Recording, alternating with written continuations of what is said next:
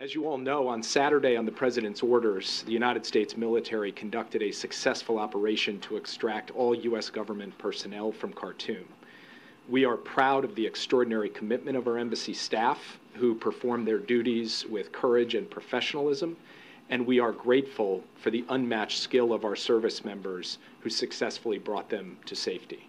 We thank Djibouti, Ethiopia, and Saudi Arabia, each of which were critical to the success of our operation.